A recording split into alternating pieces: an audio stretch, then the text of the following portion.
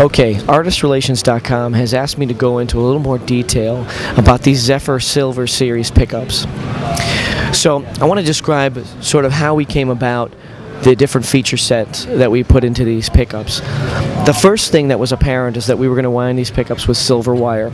Silver is a better conductor, and what we found when you wind a, pickup, an equivalent pickup with silver wire, it's not only burstier with more attack and more dynamics, but the extreme top end and the extreme bottom end uh, go out farther. In other words, it's not that there's more treble and more bass, and that they've been boosted or they're they're they're coming at you in a, in a hi-fi type type of sound.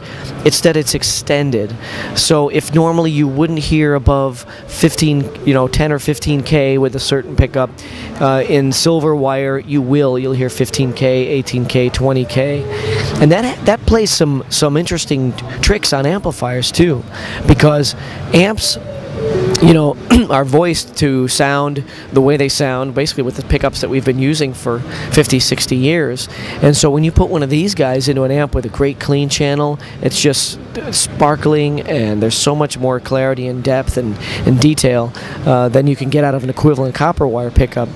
But when you put it into overdrive, that's where we really got surprised because you would think that these differences would be masked by overdrive, and you know, by a tube amplifier overdriving. But on the contrary, some of these differences, some of the differences in the pick attack actually became more apparent.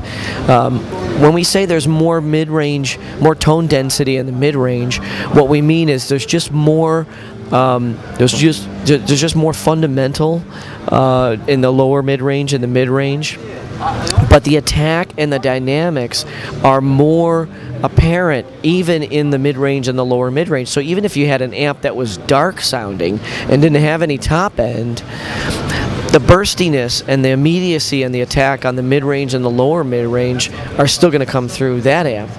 So you know we talked to uh, like you talked to Phil, our CEO. He says I, I doesn't matter what amp you play it through, you will still hear a difference. The question is what difference and to what degree. But we've played them on, you know, uh, Mesa Mark V has a great clean channel, uh, and all that top end, like I said, was was really apparent. You put it through like a 65 amp, um, where they really have minimized the amount of circuitry in there. You get a really pure, clean sound. Um, the differences are just just astounding. Um, and so these pickups are we, well, we, one of the things we want people to understand is, you know, they're not for everybody. I mean, if you're plugging in and you're playing at a billion decibels uh, through a cranked up Marshall that's just you know about to to explode. Um, maybe these subtle differences, you know, would be lost on you. I don't know, but when you're in the studio, when you are really being critical about your sound, uh, that's where some of these differences can kind of come into play. The bimetallic pole piece that's used on the humbucker, we went through extensive testing, but uh, I mean, to, to just think about how you come up with that, you know, st a steel outer core drilled out for a, you know, outer piece drilled out for a nickel core, um, what ends up happening is the uh, the magnetic field as it passes through that material, you know, one material conducts the magnetic field differently than the other, so you get a greater complexity in the way that the magnetic field is being delivered to the string. Now it's only on the slug coil. The screw coil is still our traditional screw uh, it, it, that we use in the pickup, but uh, still, like, just shocking that you know you could really hear such a difference um, in the density of the sound just from changing the pole pieces across one of the two coils.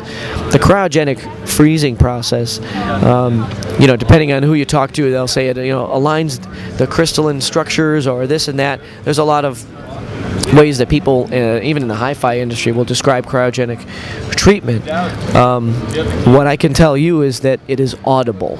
So we can apply any kind of terminology we want to it, but you can hear the difference when you plug it in. So we have two identical pickups. They sound the same. We cryogenically treat one. It comes back sounding different. And uh, the Gauss strength is still the same, so it's not based on any alteration on the magnetism. Uh, so that's not a variable in this case. Uh, but the pickups absolutely sound different. So there's a lot of differences in these pickups. It's going to take a while for some people, some artists, to get these in their guitars, start playing them, and start coming up with their own ways of describing what it's doing for them and why how it sounds through their amplifier before everyone really begins to take a grasp, get a grasp of uh, of, of what these pickups can really do for for, for you. But uh, all I can tell you is that here at Seymour Duncan, we're very proud to be pushing the envelope and offer these to you guys. Thanks.